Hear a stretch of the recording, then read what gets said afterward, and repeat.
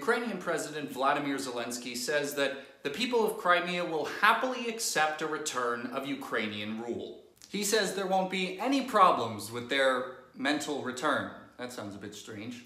He says they do not see themselves as Russians. Well, Zelensky, I got news for you, buddy.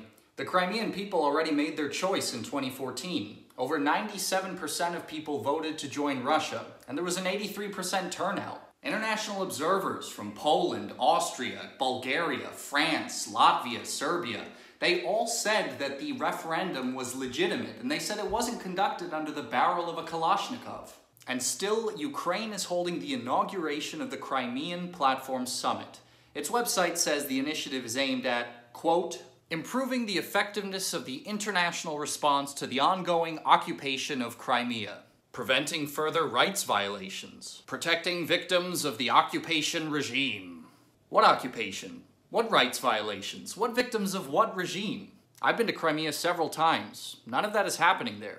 Kiev is either in denial, in which case it needs a reality check, or the more likely case is that it's deliberately spreading deceitful propaganda. And in that case, it needs to stop lying for Ukrainian neo-Nazis and NATO.